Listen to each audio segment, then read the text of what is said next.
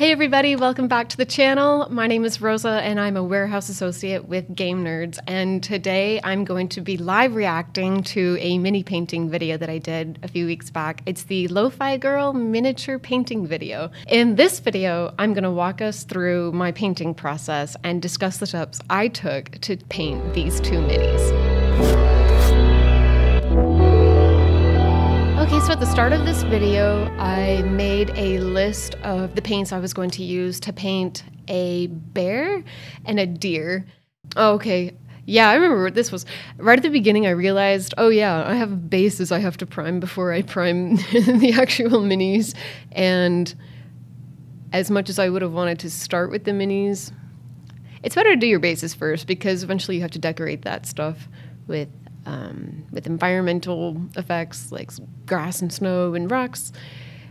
So I figured if I lay down a layer or two of primer first, that'll put me on track to get everything done in a good amount of time.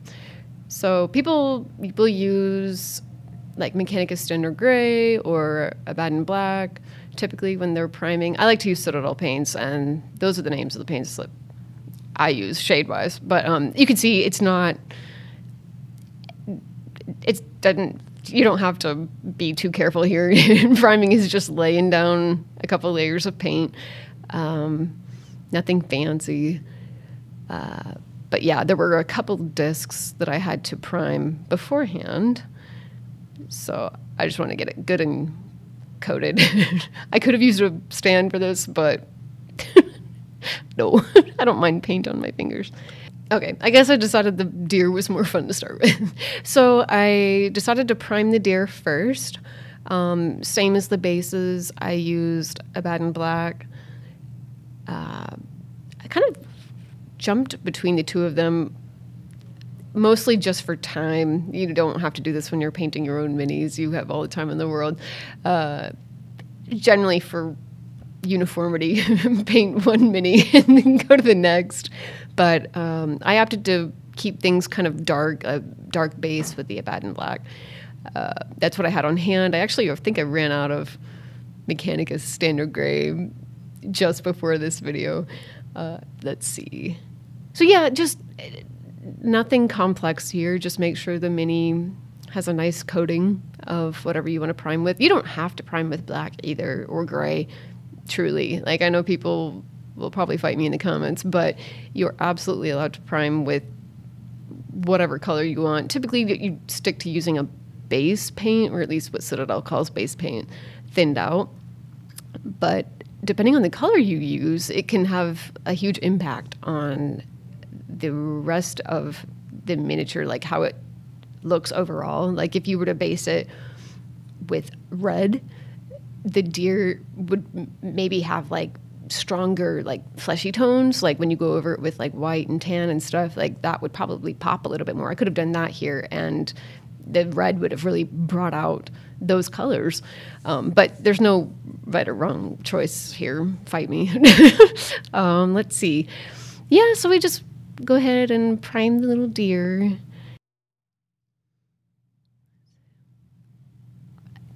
a good habit to get into when you're painting is to paint all in the same direction. Uh, with priming, it's not so critical, but a lot of the great painters, a great many painters out there, recommend that when you do start laying down colors and layers and things, that pick a direction and stick with it. Um, a lot of times, it's you'll just conform the direction to the flow of say the texture on the mini that already exists or just the form of the mini. The deer and the bear both actually had a lot of texture built into them and it would be just it just helps you as you're painting to kind of follow the direction of the fur and how the hair lays down and then commit to that as you lay down each subsequent layer. I know that's not always possible, but from a uniformity standpoint, it can have a really big impact on the finished product. So, oh, coffee break. Gotta have it. Gotta caffeinate. and I think I just took the same approach here, just more a bad Abaddon Black, I think. Yeah. Oh, no, I switched up. I think I was running low on black. This is a, I think it's a WizKids paint. It's old. It's old school paint. It's from a stash I have. So you know, don't go looking. You don't. it's all good. Um, I think it was one of the Nolzur's paints or something, but just more black. Nothing fancy. Um, especially because the bear was going to be brown, dark brown, mostly just shades of brown. Um, I guess if I really wanted to, I could have primed it with something lighter, even something in the realm of browns. Like I could have gone tan or just use brown straight away and prime with that. But I like to keep it different from what the base coat is actually going to be, like shade wise, just so I can differentiate and make sure I've got all the areas covered that I need to have covered. Um, so I just stuck with black here, kept it simple. There were a lot of little crevices on this guy. He has his mouth open. So it really helps to turn your mini around and get all in there, fill in the cracks. Because there's nothing as heartbreaking as getting close to the end of a mini and then you check the guy's mouth and you're like, ah, didn't even prime that.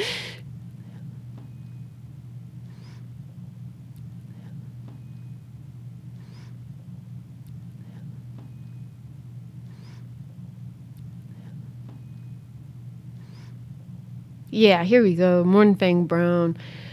I knew I wanted to base at least one of them with that color. It's such a rich brown. It's one of my favorite shades. Um, fun fact I once dumped an entire pot of Mournfang Brown in my lap. Um, that's why it looks the way it does. I need to get some more. I was really debating here because at the same time I was kind of acting too. because I had another camera like coming at the side of me. It was like, okay, how do I be lo-fi and chill? Well, not like this. Um, okay. Yeah, okay. I think I decided to base the deer with the Mournfang Brown because I knew I wanted to do a deer that still had its spots and a lot of adult stags and deers don't have that. You typically only see that with like baby deer, like fawns. And so I did a quick search just before filming, and I guess the fallow deer is one of those species that retains its spots into adulthood. And they have a really pretty coat too. So I figured that would be the most dynamic and a fun challenge for me. Never painted a fallow deer before, but why not do it today? so I think I opened with that shade of brown. And I guess not. I guess I switched over at some. I don't know what I was doing. I think I was mixing colors. You could do that. Like, there's no harm in in creating your your own shades for painting. I think I I brought in um, Citadel and Army Painter paints. Those are my two mainstays. I love using them. They mix really well and it's easy to get a good flow out of them just by throwing in some water. You can use Lahmian medium if you want, but water works just as great. Okay. So I guess I switched it up is what I did. Um, so instead of starting with the brown, I started with his legs. Um, I guess deer have like white socks, I guess. Like their legs are predominantly a lighter shade than the rest of them. And that was true of the fallow deer as well. So I think I had like a. I know it looks really white here, but it was. Um, I think it's mummy robes is the army painter paint color. It's like a very off white, bordering tan shade, and I think I just thinned it out with some water and just went over it. It's one of those things where you, you want to do a couple passes for sure. You know, let one layer dry and then do the next. And that's why it's beneficial to have two minis, honestly, when you're filming, because while you're working on one, the other can try, and vice versa. so let's see. I think I had, what was it, four? Uh, no, I had all day to film this one. That's what it was. It was the Christmas one that was shorter. But I think this was two minis, seven, eight hours. So not bad. Okay, so you can see like the deer, you can really see through that uh, light layer, that first layer, it's it's still pretty transparent. Um, that's good. you want that. Um, you don't want to lay it on too thick because then you end up seeing more paint texture than the actual mini texture. We don't like that very much. it's kind of grody because like they have like their tummies and their legs are that light color. I figured that was where I would lay down the majority of it and then go over his back with the brown. So at this point, I probably could have been satisfied with that layer and then paused and moved on, but I don't know. Anyone else out there have perfectionist tendencies? Yeah. Get in the comments. Okay, so I started building up with that light shade. Uh, I moved like up the deer's belly and up its neck, and eventually I moved to his face. And that's just because, like, given the coat on the deer in real life, I guess it's it's just all light here, and really the only darker shades are on its back and its tail. So I was, I definitely had like a reference image. Don't hesitate to use reference images, people. It's okay. Uh, had one just kind of sitting off to the side, and I did not know what a fallow deer looked like before this day. So references don't hurt. So I guess because they have like light coloration on their faces, it was important to put down at least a base of this light color.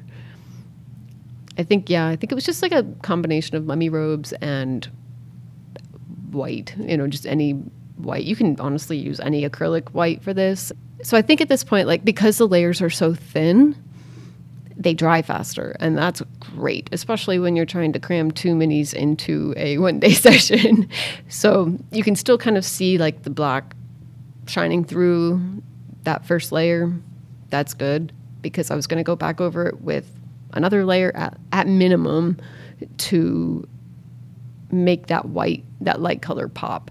So while that's drying and finishing up drying, um, I pivoted to the bear and worked out whatever I was going to start with him. Okay, the Mournfang Brown, one of my favorites.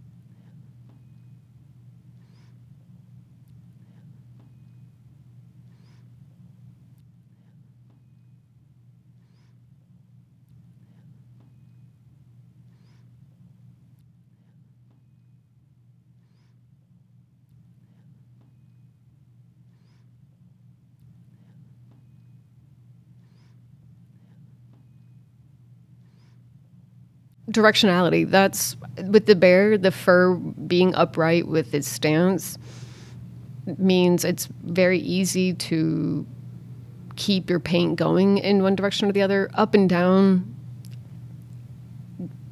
I mean, I'm sure some people will be like, no, going down is best or going up is best, but up and down, it's that keeping that vertical flow is good. I mean, you won't get paint chunks by going left and right it's pretty thinned out here. It's not probably not as thin as the white on the deer, but you can see how glossy it is, and that's largely due to how much water has been put into the paint as well to thin it out. Um, so it looks like it's super duper wet, but it'll dry a whole lot faster the more water is in that paint to water ratio uh, mix.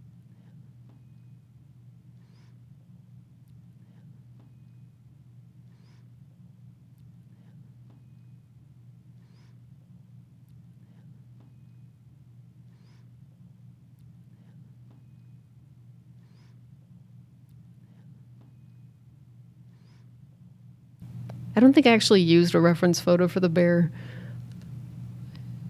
I probably could have, but I mean, bears are pretty run of the mill. Sorry. Sorry to all the bears. It was like either he's a polar bear or he's a black bear or he's a brown bear. But I think I just went with brown bear and hope for the best. I don't know. Show the bears some love.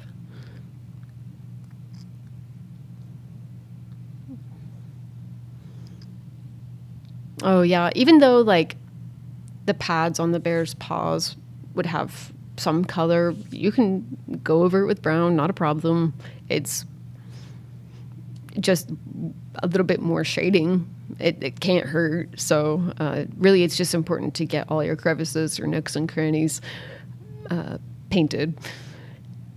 And this guy had a lot. he had a lot of little little divots and corners and things. So it's always good to like look your mini over before you even start priming it to just kind of get a sense of where where the the hiding spots are. Like it's just keep in mind as you're going through it, like, oh yeah, I need to make sure I get, you know, inside his mouth or between his claws. That way going forward you don't get caught by surprise and suddenly you're halfway through a mini and there's just gaping holes where there's no paint. So yeah, just getting all the fur. Also, this brush looks. This is not. This is a very old brush. Don't be like me, guys. Um, this is a very old brush that's taken a beating over the years, but I like using it for like priming and basing because you don't have to be fancy with it. You really just kind of throw in some paint down. it's not like intricate detail work. So take your most beloved, most abused brush and just have at it. So yeah, that brush has seen some action. okay, I guess I switched back to the deer. Once the bear was fully coated in brown, I switched back and I brought out some more of the the light colors for his legs and tummy and face so that I could go back over and do another layer. Good thing to keep in mind is which colors you used. when you make a mix like that, it can be easy to kind of forget, like in the moment, like, ah, what ratio did I use? What shades did I use? So just kind of keep that in the back of your noggin. I don't know if you can see here, but it's like from where I'm standing, it already looks like it's going on like thicker, like the color is more pronounced here. You can see less of that black belly shining through. It looks more light that second layer really just makes all the difference in the world. It's still thinned down, like it still has water mixed into it, but just having that layer stacked up on it makes a huge difference. And go three layers if you if you want. Like there's no harm in that. It's just by keeping them thin, you can control how much paint is getting thrown onto the mini and it doesn't cake up and get bulky and obscure the details on your miniature.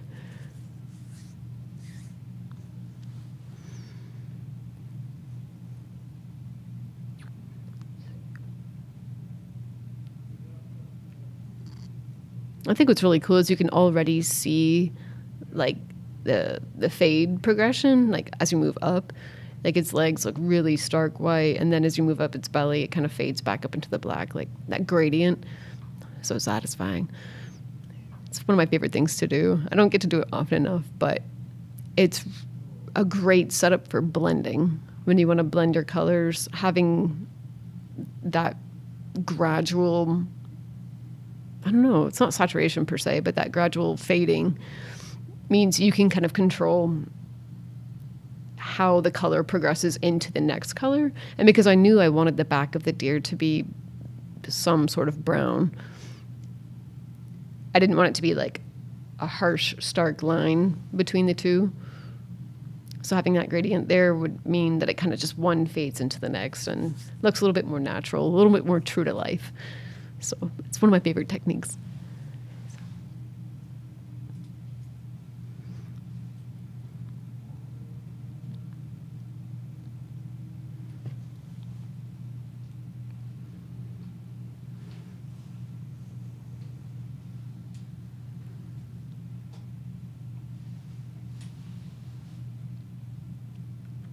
So I switched the deer off again. Now that it had a couple layers thrown down, uh, I switched back to the bear so the deer could dry, and the bear had finished drying. so it's really just a game of mini juggling at that point. I think this would be the second layer of the Mournfang Brown. Yeah. And so I don't know if you can see like my wet palette in the back there. It's got like a special kind of like a wax paper um, that I have not saturated with water, but I've got like big puddles of water on it, and that I can pull from with my brush to mix into the paint to thin it out. It's extremely useful. Um, I know we sell the Army Painter wet palette, and I think that's exactly what that is there. But uh, very useful for keeping your paints like wet and active while you're painting so that you don't have to constantly be replenishing it from your paint pot and uh, just extremely useful. okay, this is the second layer of brown on the bear, I believe. And just punching up that color a little bit. Layer was thinned out with water, making sure all the nooks and crannies are covered. And then I think once that was finished, I pivoted back to the deer. I knew I wanted to keep the palettes fairly limited. I know it looks like a lot of paint in the background there, but I didn't want to go too crazy to have to keep track of all the different blends and mixes and layers and things. So by having two similarly colored creatures, I wouldn't have to go too crazy and remember like 50 colors. So basically, I think each mini shared like 50% of the colors I brought with me just to keep things streamlined. So here I went with like a it was like a sandy like ochre color for like that that middle shade between the light and the dark on the belly and the back of the deer. And I know it doesn't necessarily look like it from here, but it is thinned out. It has water mixed in, and um, but it's it's a little bit thicker here, so you can definitely see it lays on a little bit heavier. The black doesn't shine through as much. But this way, it kind of would create a nice um, middle tone between the really light and the really dark. And then as you refine it, you can, you know, blend that further and create like a really pretty gradient in fur colors.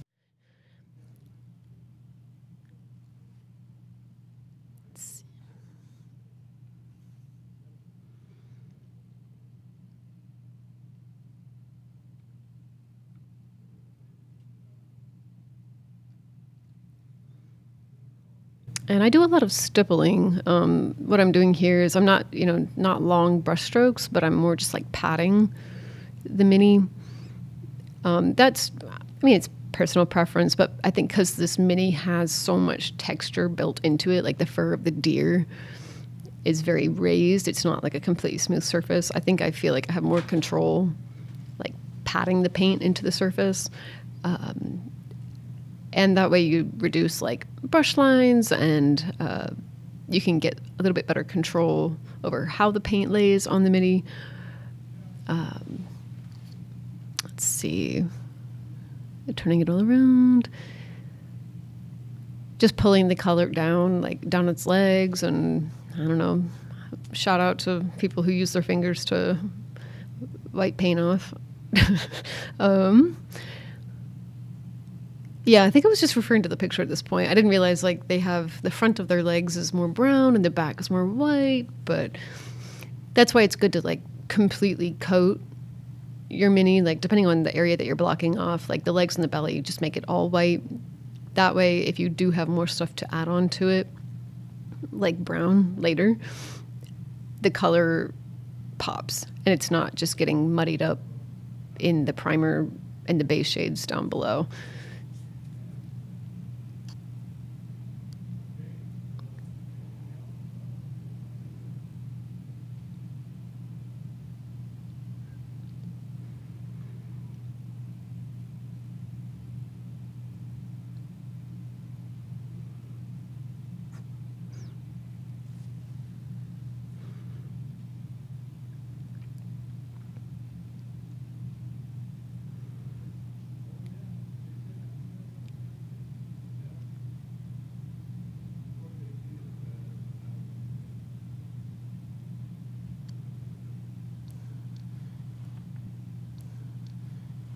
Some people will be like, why do you use such a huge brush for such tiny things like their legs? Like, just use a smaller brush. And it's personal preference. Like, you can absolutely go down in size, use a thinner, smaller brush. But I've found you can actually maintain a lot of control on how much paint gets loaded onto those finer details by having a bigger brush. You can hold more in the bristles with a bigger brush and thus dispense accordingly. Whereas with that, with a really small brush, you only have like a handful of bristles that are clinging to what little paint you pick up, and you have to kind of go back and forth a lot more. Whereas bigger brush holds more, less jumping around. So, and then you just use like the edge of the brush to just run along the edge of like the leg that we're painting. So, it's just a personal preference thing. Not everybody does it, but I know some people are always like, you know, why not just go smaller and use a tinier brush? And you can. It's just is what works for me. Let's see. Oh yeah. Time to pick a new disaster video to listen to. That's the thing, like all this stuff like lo-fi and chill, Joey, but I had my my phone was just playing like aviation disaster. yeah, I'm I'm weird. All right, switched out. So now the deer can dry while the bear is getting worked on. I think I just went back with that same color on my life. I cannot remember what it's called. I don't use it very often. I don't know if it was XV88. Possibly. But yeah, I knew that I wanted to do something to show a little bit of contrast on the fur because you have all those indentations from the fur and the miniature itself you can really punch those up by highlighting and throwing in like contrast for shadows and it really makes the fur pop. So i just tried to put areas of like lighter paint on like where where light might hit on a bear that's standing up like stuff that's closer to the light source like the tops of the arms the tops of the head you know the back like the shoulders uh, tops of the legs I know that some people will just like, this is a really good idea actually, to take their mini, put a light source on it, take a picture, and that's your reference photo for when you actually paint it. That way you're not constantly confusing your light source as you're turning the mini around. You can just refer back to the picture, like, oh, okay, yeah, the light was hitting the tops of his arms, so that's where I want my highlights to be. Super useful. I cannot remember who taught me that, but it's just like, oh, my life was changed when I learned that. So yeah, like his belly sticks out a little bit. So you want to draw like the eyes to like his tummy, his cute little bear tummy. So that's where I put some of the lighter color there. And you don't have to be perfect with it because you're going to still go back over it with like contrast or darker paint to fall into the crevices. You can kind of it's it's a convenient way of doing it when you have a lot of texture on a mini to let the mini do the work for you you don't have to be perfect about lining every single divot between every chunk of fur. So here, just did some tummy highlights and leg highlights. Reminds me of a sun bear, actually. I think it's like the one bear that isn't a polar bear or brown bear or black bear that I know of. It's like they have like little patches of yellow on their chest, sort of. Really cute. I don't know. Oh, don't treat your brushes the way I treat mine, guys. Oh, God.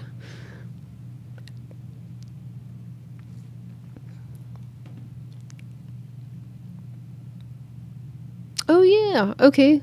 So this is an actual dry brush. I realized, oh, yeah, duh.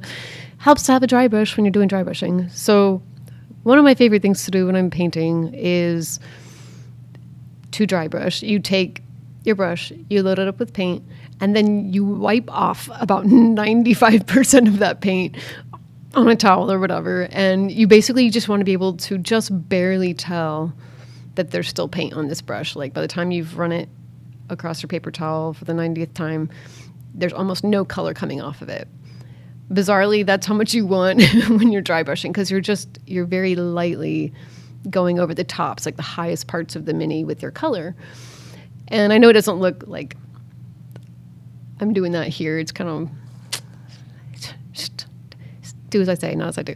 But um, you could just go over the ridges, the top ridges with the brush, and it'll catch the raised areas of fur that would be closer to the light source. It is a, a fantastically easy way to make your minis look like a million bucks. Just throwing a little bit of highlight down with a dry brush. It's one of my favorite techniques ever.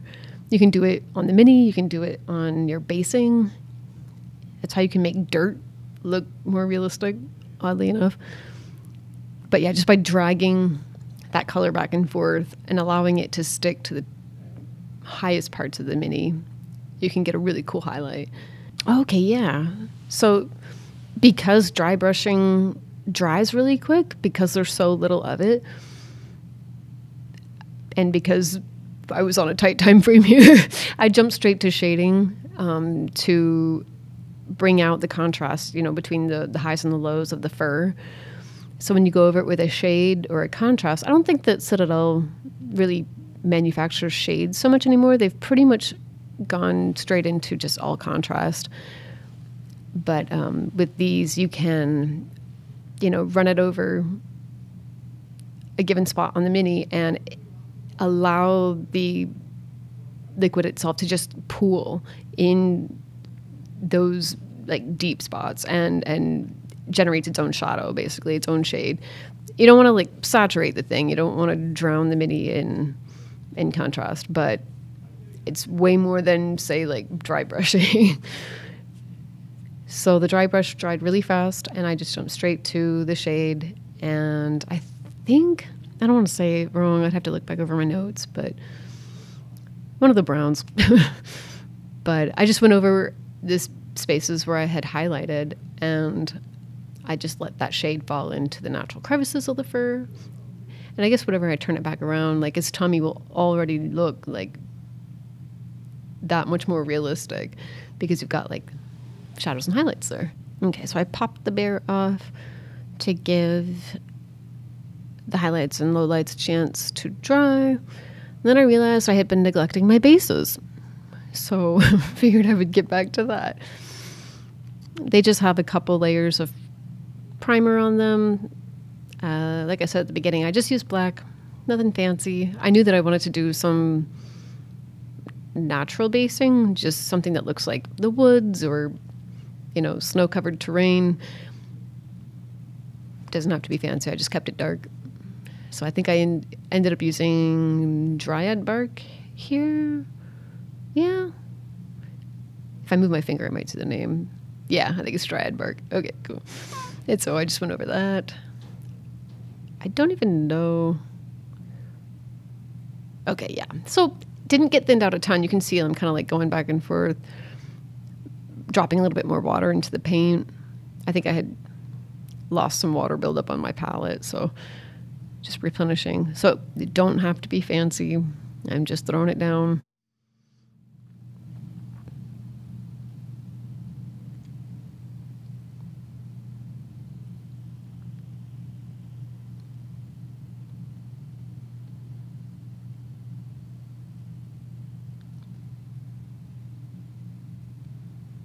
I'm sure there are schools of thought that say like you need to paint in the same direction when you're basing your paints and stuff, but I just went perpendicular here. I don't know. I think I went about it like how window washers do. you just you go one way and then wipe the other. but ultimately, I don't think it matters quite so much when you're doing the bases because they're pretty much getting covered by your environmental effects, by the mini itself. You're going over it with a few layers.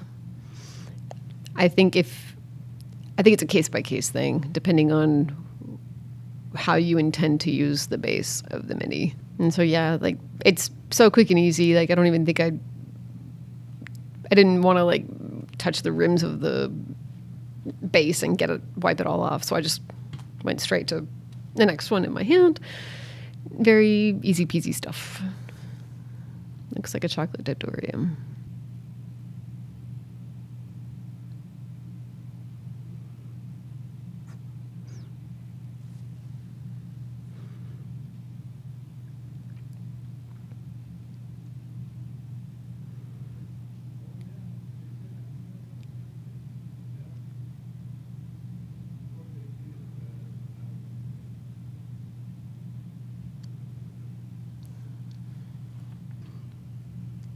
Okay, yeah, you can kind of see how the base looks a little bit translucent still because I did use like a clear base.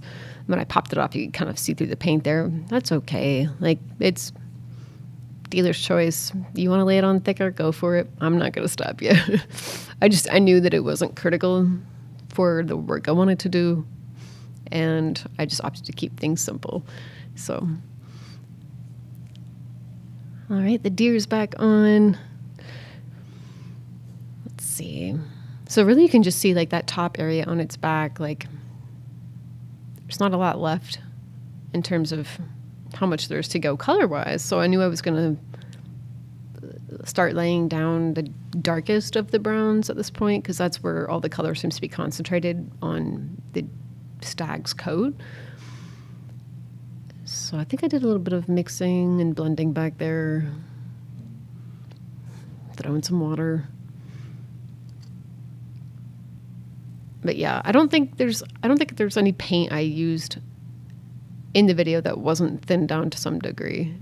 Like truly, I think the dry brush may have been the only one that I kept like as is. The dry brush thickness, like if you if you look at the paint in the pot itself, it's very almost chalky um, consistency, and you don't want to thin that down any more than it already is because you'll prevent it from sticking to the mini the way it's supposed to.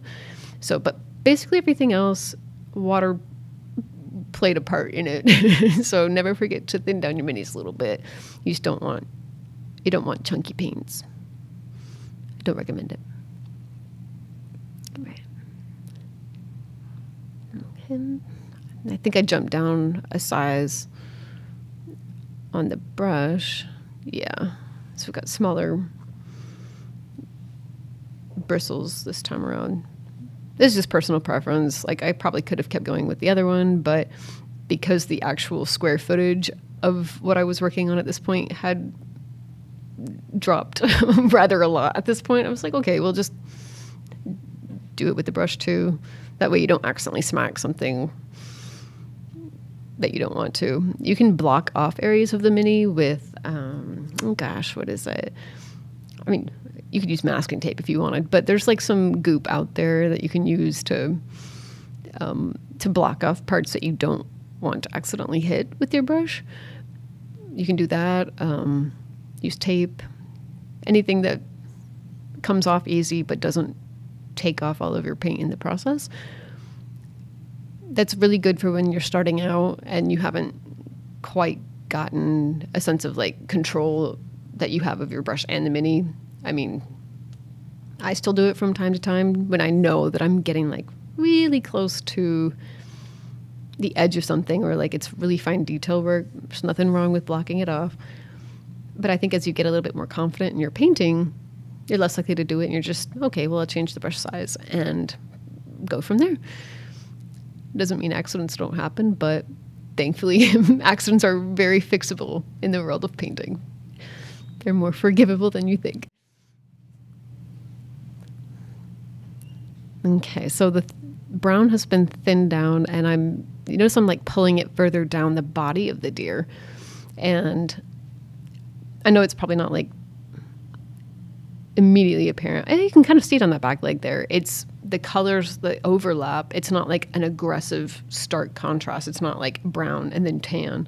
It's you know, as the brown lays over the tan, the color changes a little bit, but it's it's like a softer gradient and it looks more like fur, right? Like it's animals rarely have something be immediately this, immediately that. There's like a nice gentle blending there. So do the backs of the ears. I forgot about the backs of the ears for like the longest time while I was painting this. Then I realized, oh, deer have ears. So don't forget nooks and crannies.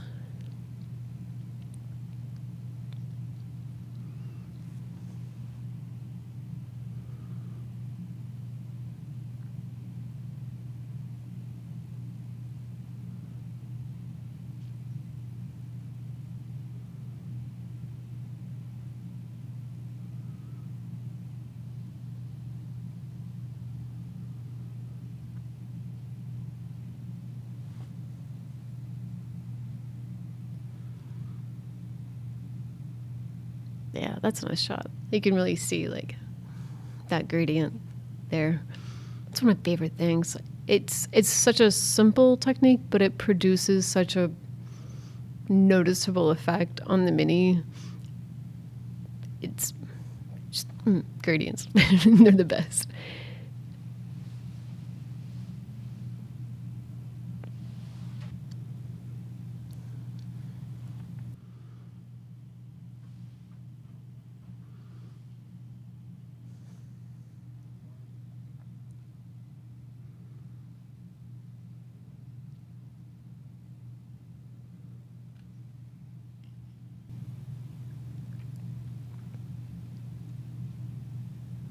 You'll notice I didn't swap out to the bear at this point. I stayed with the deer. That's because I wanted to try. It's a technique called wet blending, I think. Yeah, wet blending, which is exactly what it sounds like. Um, throwing down some wet paint on top of some wet paint and then blending accordingly. Um, I haven't experimented with it much before. Why not do it live, right? And I knew that like I wanted a good gradient, but I hoped that in the process of wet blending, I could get that gradient faster than if I waited for each layer to dry separately. So I brought back that, I think it's XV88, like that ochre tan color. Brought it back and threw that down while the brown at the top was still drying. And I'm, you know, there's pros and cons to doing that, but my hope here was that while everything was still wet, you could kind of get that halfway color between the two because it was being basically blended onto the mini. And I didn't hate it. I know that a lot of painters enjoy doing it that way, especially for gradient effects. And um, it worked out okay for me. So let's see, I think it's a little bit more detail work on his face. I know that like the contrast between the two colors looks kind of stark there, but I do know that I go back and finesse it a little bit more. So I know it looks like really abrupt, you know, brown and then tan, but more blending happens, I promise. I feel like 90% of painting is blending. so it's okay. It's okay. I jump forward a little bit just to show like getting the the top of the deer's back, which the deer have like this this thin ridge of like very very dark fur along their spine. And it's like ah okay well I'll drop that on there. And I think I just like kind of stippled it on, and I know that the brown on the back wasn't fully dry, but it was drier than if I were wet blending. So that way it wouldn't be such a, a stark line when I dropped that little ridge on, but it still kind of blended in without getting overly saturated. Yay, detail work. Oh, it's my favorite part. Finger painting. Okay, so yeah, I knew I had wanted to paint a deer that still had spots on it as an adult and I guess like the fallow deer species has that. So I went in and grabbed some white. I think I used closer to true white here as opposed to like a blend with mummy robes or what have you. Because those those spots on the deer are really light. Like they're pretty white there. Okay, moving on to the antlers. I love painting antlers. It's one of my favorite things to do because it's really just an exercise in gradient. Can you tell I like gradients? so here I I think I did the the dark to light progression. Um, you can go in either. I've seen people paint like they start light and then go progressively darker. Um, I just haven't. I don't think I've tried that to my knowledge, but I I went from dark to light, so because I knew I was already basing it with dark colors like the brown and the black and stuff. And so as you move further up the antler, just lighten your paints accordingly.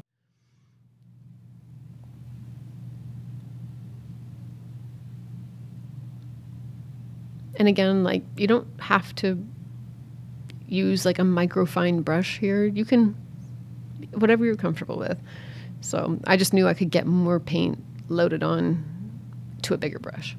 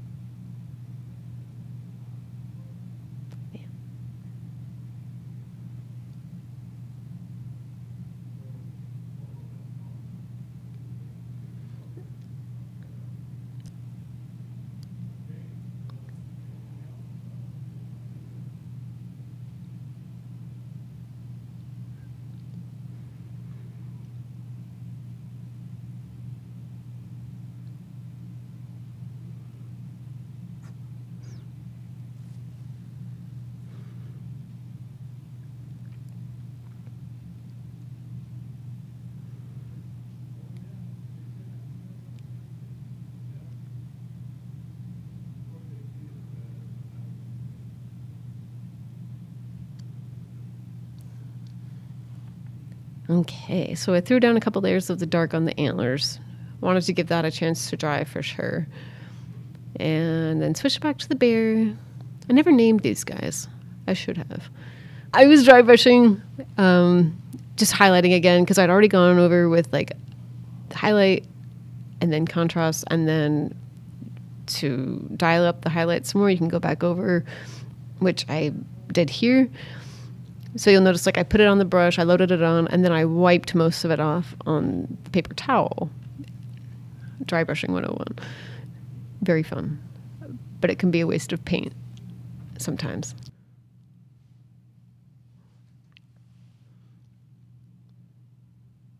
But yeah, so you can already you can tell like the musculature of the bear and the fur is starting to have more definition. Like you can you can see like it has dimension.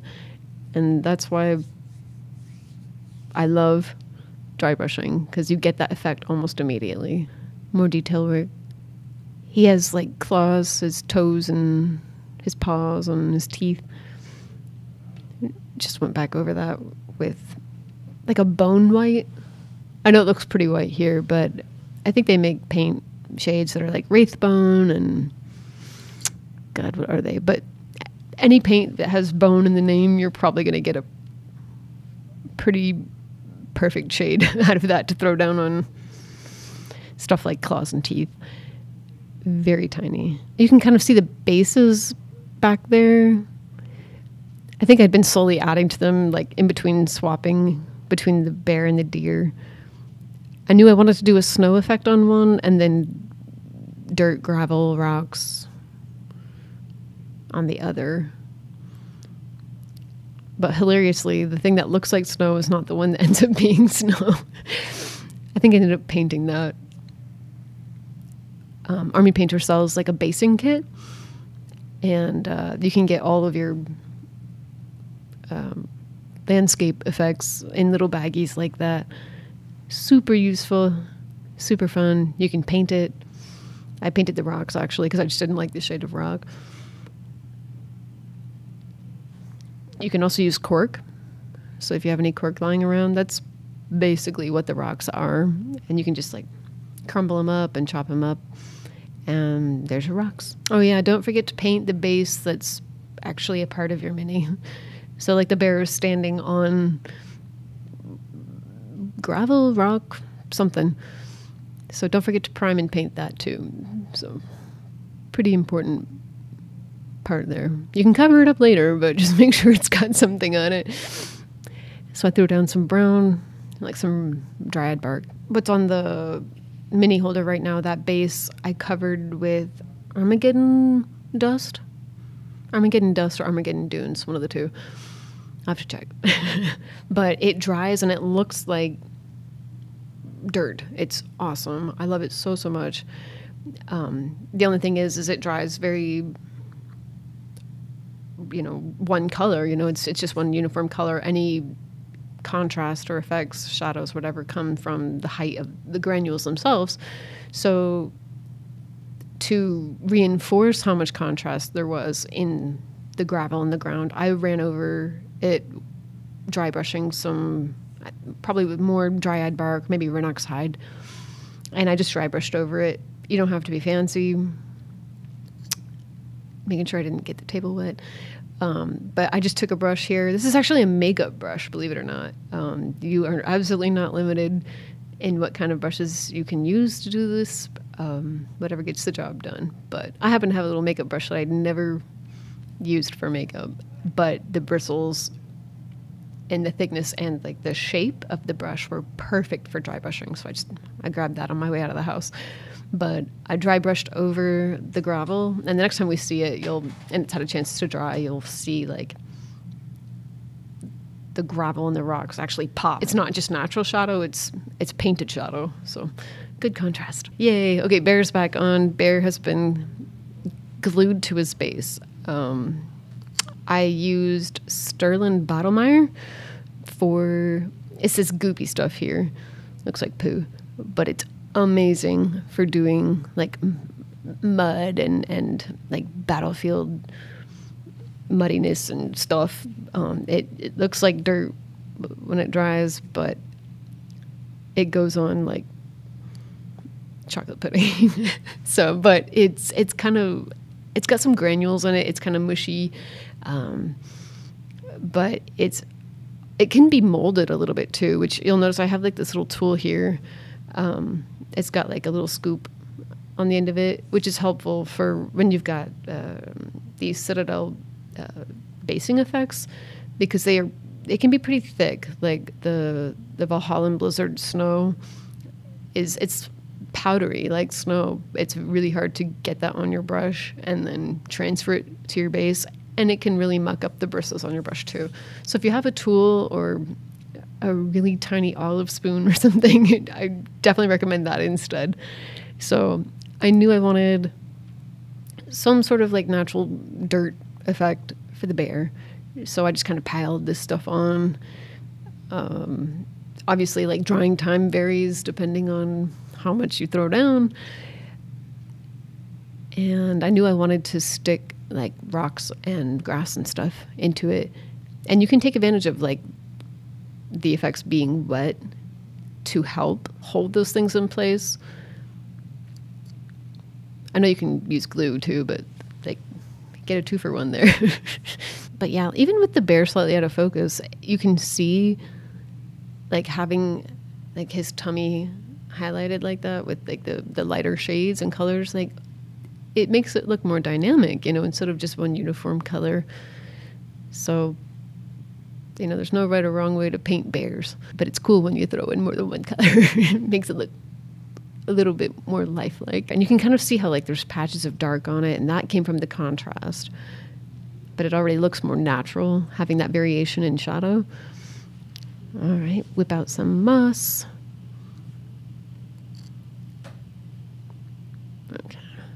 Yeah, so that was me testing out like how well the moss was going to stick to the basing effect. Answer not very well. So it's always good to have some glue as backup. Citadel makes a pretty good plastic glue, um, but I love this. What I'm grabbing here is the Army Painter glue. My container is a mess. Don't look too closely. Um, it's a long suffering bottle of glue. Okay, so I got some moss and grass thrown down on the bear. You can see in the deer on the left hand side of the screen, like some grass patches that I stuck down. But I knew I wanted the deer to be walking across some snow or like snow that had recently fallen. And if I'd planned better, I would have thrown some white down before I struck the deer down, but ah, who can plan for these things? Um, so what I did was I dry brushed some white onto the base and the basing effects that the deer was standing on to give myself a little bit of um, almost like primer for the snow so that any gaps where the snow wasn't like perfectly laid down, you still had some white showing through. It's just extra coverage. Um, you don't have to do that. It was more just I wanted to have backup snow effect in case I ran out of snow in the middle of painting. Also, I guess with the antlers here, you can see like the progression from like dark to light as I moved closer to the tips of the antlers. You know, I just used lighter and lighter paints and threw down a layer or two of that at a time. So it's not overly complex, really easy. You don't need a ton of paint, just markedly different shades that are just distinctly dark to light. Um, so there's the white paint. I dry brushed a little bit down there just to kind of like block off spots where I knew I wanted the snow to be. Again, it's probably better to do that before you commit to sticking your mini down, but it's not the end of the world. Not the end of the world. And if you make a mistake, nine times out of ten, you can wipe it off.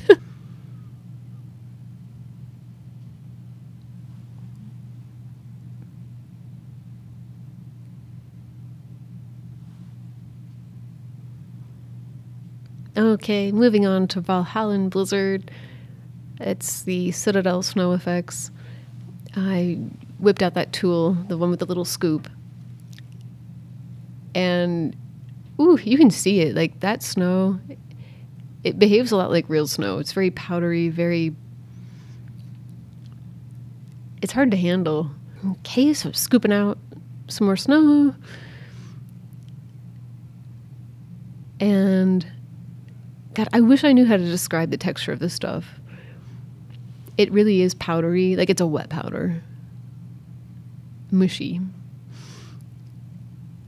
And I just used the tool to kind of mold that to where I wanted it to go.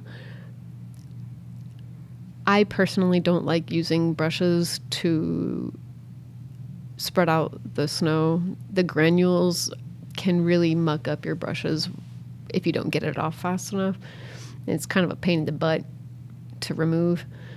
Uh, so if you have like a tool like the one I'm using or just a spoon, anything, I think is better than using your fragile brushes. So user preference, but your mileage may vary. so I just kind of plop it on there. Um, great thing about nature is there's no right or wrong way to make it look. You don't have to be perfect because there is no perfect. Um, just kind of throw it down. I tried to stick to the areas that I had based with white already, just to give it the effect of like the space isn't totally covered in snow yet. But like you can kind of build a story here. Like you don't, if you plan right, I guess. It's like okay, yeah, the deer was just passing through a field. Snow hasn't completely covered the space yet, but it will. You know, just I don't know it's fun. It helps me to have a little narrative in my head as I'm painting. Um, and I love like snow effects on the mini. I don't know if any of you saw our giveaway video, but I painted Santa Gandalf and Santa Saruman, and they had snow effects on them as well. And I, I like put little granules on tops of their hats and on their coats, and it just kind of looks like they've been running through snow. So I'm a huge fan of that. And I think I do it on the deer here as well. Like I just kind of sprinkle it on his head and on his back, like he's been walking through a snowstorm. I'm sorry, the deer is out of focus. I was getting so into it. I was so excited. I was just like, yeah, yeah, yeah. Like the more excited I get, the more a goblin I become, you know. Okay, there we go. I think at this point I finally decided I was like, yeah, I'm gonna commit I'm gonna put some snow on my deer.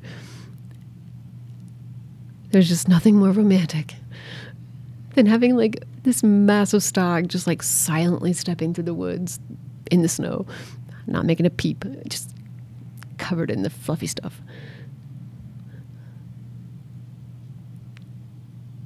Yeah. I'm sure there are more elegant ways to apply this stuff. If you know of it, get in the comments. I'm just throwing it down. just I knew I was on a, a short timeline here, so but really just as long as I got some snow on the top of the guy. Okay, I think what this is is like a shade of some sort. I think I just didn't I wanted more contrast out of the rocks and the gravel on the bear's base. and nothing says you can't put paint on your environmental effects. So I just went over the like the rocks with the shading and I let it kind of fall into the cracks in the rock and gravel. And already it just looks a little bit more natural. Nothing stopping you. I think I was feeling pretty good about where I was at at that point. So here we have a 360 view of our fallow deer with all of its effects. It was definitely still drying at this point, but if you're careful with it, you can handle it. This was a great practice, a great exercise in painting efficiently and doing as much work as is feasible in such a short window of time. Um, a fun challenge um, requires you to kind of think on your feet and plan accordingly. Um, if I could come back and do it all over again tomorrow, I would. God, there's our bear. You know what? Let's take a closer look.